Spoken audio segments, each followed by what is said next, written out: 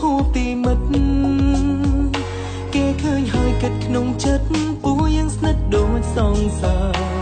ដើរទៅមកកាន់ដៃគ្នាមិនខ្វល់ពីនាងណា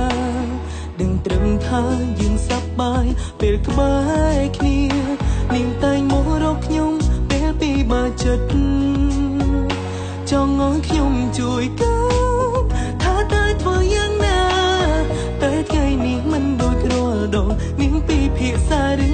ថានាងបានប្រាប់ខ្ញុំថា